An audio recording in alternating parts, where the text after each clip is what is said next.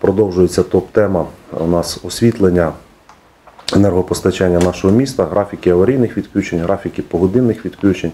Хочу наголосити, що ми, міська влада, жодним чином не впливаємо на застосування графіків аварійних або графіків погодинних відключень. Так, дійсно, ми говорили з Смілянським РЕМ про те, щоб одні люди не страждали, в яких по графікам аварійних відключень відключається по 5 годин світло, по 6 годин світло, а в інших не вимикається світло. Е, Вчора дійсно були застосовані графіки аварійних відключень. Щоденно інформація і застосування графіків оновлюється.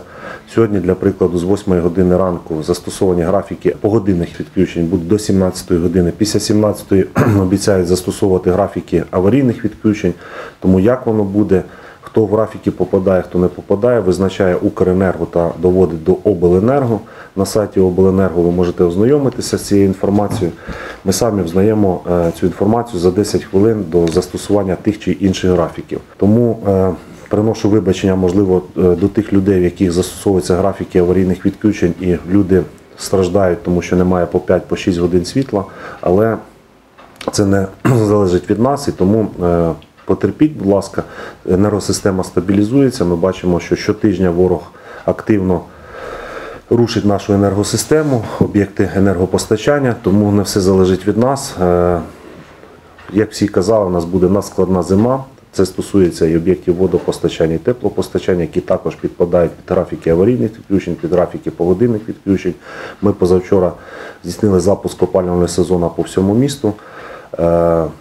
Але якщо будуть застосовані графіки аварійних або погодинних відключень, хоч це об'єкти критичної інфраструктури, технічно неможливо виокремити чи котельні, чи ПНС, чи КНС із е, графіків аварійних чи погодинних відключень. Тому буде в нас і зупинятися і котельні, будуть зупинятися і підйоми наші, і підкачуючі насосні станції, е, якщо будуть застосовані ці графіки. По водопостачанню, водовідведенню підприємство працює без змін. Е, Водопостачання в нас присутнє, водовідведення присутнє при вімкненій електроенергії. Звичайно, якщо при застосуванні графіків аварійних відключень у нас страждає найбільше мікрорайон Богдана, тому що попадає у нас і п'ятий підйом під графіки аварійних відключень, і відповідно е, відсутнє водопостачання. Тому звертаюся до всіх мешканців, поки у нас енергосистема не стабілізується, не стабілізувалася, всіх запастися мінімальним е, запасом питної води. Поки вода є, нехай у вас вона буде е, завжди в запасі. Е, Це стосується не тільки мешканців мікрорайону Богдана, а всіх мешканців міста, тому що ми бачили, що в понеділок у нас взагалі критична ситуація була з енергопостачанням. Тому я щиро хочу подякувати всім працівникам енергопостачальної компанії Обленерго, нашим смілянському МРЕМу, що відповідно відреагували якнайскоріше, якнайшвидше. У нас в місті з'явилася електроенергія найкоротші терміни. У нас в місті з'явилося водопостачання. Дякую і працівникам Водгео. По місту е, ми вімкнули майже всі котельні, залишили декілька об'єктів. Е, Скажімо так, соціальної сфери, які не застосовуються в навчальному процесі нашого міста. Е, Ми їх вімкнемо трішки пізніше, коли вже буде мінусова температура, для того, щоб не розморозити систему і підтримувати тепло у всіх закладах нашого міста. По комунальнику завершили е, усунення науковості по вулиці Василя Бурки, колишнього Будьонного. Сьогодні продовжимо. Можливо, і завершимо, якщо погода надасть нам таку можливість, завершимо вулицю Одеську, тому що ми між Соборною та Незалежності не завершили ремонт по вулиці Одеській. І при настанні сприятливих умов на сьогодні передають дощ, на завтра, післязавтра. Якщо не буде сильного дощу, е, ми приступимо до виконання робіт по вулиці Громова. Я думаю, це вже буде завершальна вулиця у нас в цьому році. Якщо дасть можливість погода, ми е, все ж таки завершимо роботи по усуненню аварійної ямковості по вулиці Громова. Дякують за благоустрій на вулиці Василя Бурки та Одеській і сподіваюся, що в наступному році буде вулиця Похилевича теж приведена в належний стан. Дійсно, є проблематика по вулиці Похилевича. Там по- потрібно провести капітальний ремонт асфальтобетонного покриття. Вона має історично має, скажімо так, таке розміщення, що там зливова каналізація, там потрібно піднімати цю вулицю, асфальтобетонне покриття, піднімати, щоб сходила вода е, в зливову каналізацію. Там проведено, Потрібно провести капітальний ремонт асфальтобетонного покриття. На жаль, усуненням аварійної ямковості на вулиці Похилевича ми нічого не зробимо. Я знаю цю проблематику. Ми розчистили зливову каналізацію по вулиці Одеській. Звичайно, там до сих пір по Похилевича стоять калюжі, але я думаю, що в наступному році ми повернемося до цього питання при перемозі, при е, тому, що у нас буде фінансування відповідно проходити по капітальним видаткам. Тому у нас ця вулиця є в планах е, капітального ремонту, так як і вулиця Громова, Віри Гордієнко, і вулиця Орлова. Я знаю, повірте мені, проблематику всіх вулиць міста, де відсутнє асфальтобетонне покриття, де ми постійно є скарги мешканців нашого міста, тому не хочу обіцяти, але доживемо до наступного року і обов'язково повернемося до цих питань. В лікарні е, тепло є. Вчора особисто проінспектував лікарню, саме зокрема і по ремонту неврологічного відділення і по ремонту системи теплозабезпечення. Система теплозабезпечення зроблена дійсно якісно. Вчора для прикладу, е, в деяких відділеннях було 23-24 градуси за Цельсієм, тому дуже тепло. Хворі задоволені, поспілкувався із лікарями, з хворими, тому задоволені системою теплопостачання на сьогоднішній день. У нас зараз знаходиться 20 ковідних хворих на лікуванні в нашій міській лікарні. Всі умови передбачені, по теплу я сказав, е, забезпечені засобами е, лікування, тобто медикаментами. У нас ніяких питань немає. Первинна галузь також працює без змін, сімейні лікарі проводять прийом. Е, До речі, ми на цьому тижні перевезли вже мамограф в нашу Смілянську міську лікарню, тобто робимо єдиний такий медичний центр, який буде існувати на базі Смілянської міської лікарні. Тому всі, будь ласка, звертайтеся, кому потрібно. Відповідні лікарі є, і всім вони забезпечені, в тому числі і оплатою за комунальні послуги, і всім іншим. Чи покращилось харчування у лікарні? У нас було здійснено е, тендерну закупівлю на закупівлю продуктів харчування для лікарні. Тому ціна я не готовий відповісти, чи зменшилась, чи наче збільшилась. Лікарня проводить постійно тендерні закупівлі. Коли нам дозволяв закон по прямим договорам проводити, ми закупали по прямим договорам. По тендерним закупівлям е, приватний підприємець виграв е, надання цієї, скажімо так, товарів по харчуванню, тому буде закупатися. І я скажу, що харчування в лікарні, якщо порівняти там е, з минулим позаминулим роком, я думаю, мешканці відчули, воно значно покращилося, зокрема в Смілянській міській лікарні. По стомат поліклініки ми також виділили кошти, дякую депутатам міської ради, на частковий поточний ремонт стоматологічної поліклініки нашої. Там проведені певні роботи, закуповуємо відповідне обладнання.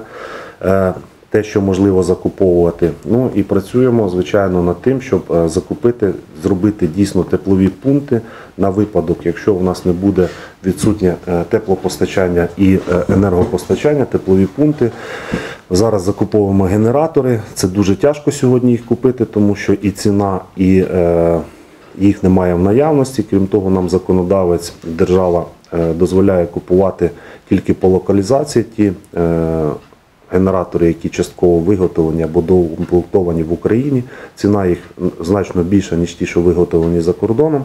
Тому ми над цим працюємо. Вже теплові пушки ми закупили за кошти міського бюджету. Зараз займаємося закупівлями енергогенераторів, але їх дуже тяжко сьогодні їх закупити. Чому в такий важкий фінансовий час для пенсіонерів не запроваджено безкоштовний проїзд в громадському транспорті? В інших містах таке є, хоч, хоча б до півдня. Щоб У нас запроваджений пільговий проїзд для е, певних категорій громадян. Здається, це 8 або 9 категорій громадян, які відповідно до чинного законодавства мають право на пільговий безкоштовний проїзд.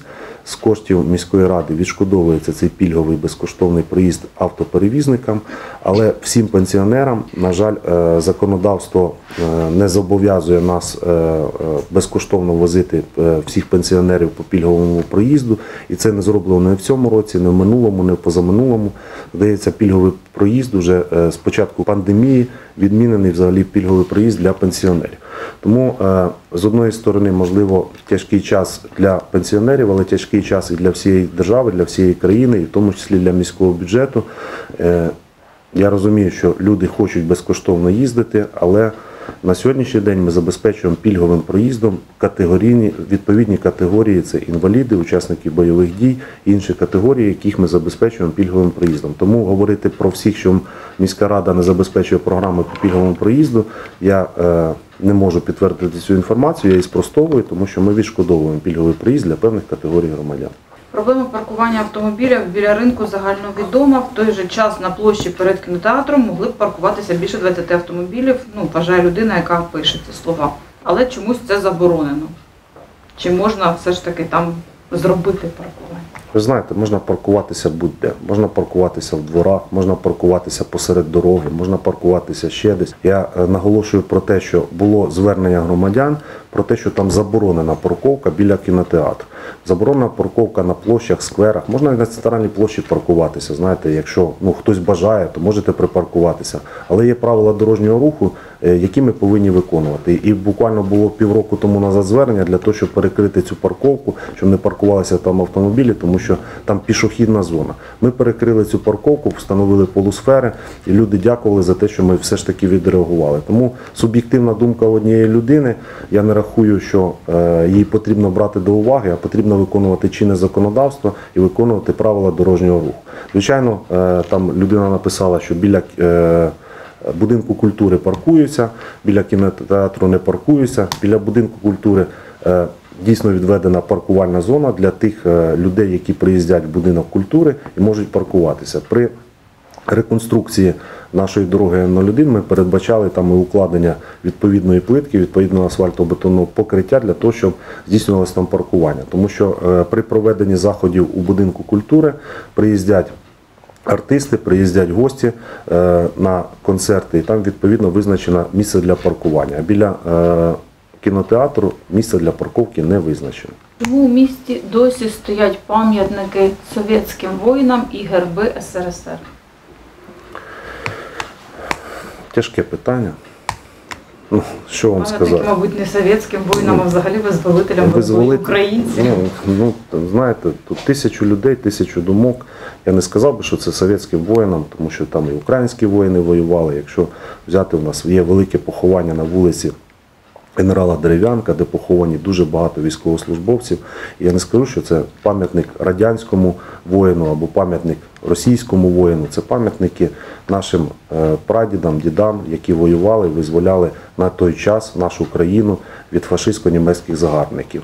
Я думаю, що після перемоги ми обов'язково повернемося. Це історія і будемо встановлювати пам'ятники російсько-українській війні і пам'ятники нашим визволителям, нашим збройним силам. Тому що дійсно сьогодні е, ми боремося, тоді ми боролися проти фашизму, сьогодні боремося проти рашизму. Хотів би подякувати працівникам міської ради за те, що е, все ж таки продовжують цю традицію по закупівлі засобів технічних для наших збройних сил України. Я хотів би подякувати всьому волонтерському руху, незалежно від того, хто критикує одних чи інших волонтерів. Люди добрі, сьогодні йде війна. Будьте добрішими один до одного. Всі, хто може чим допомагає, той допомагає.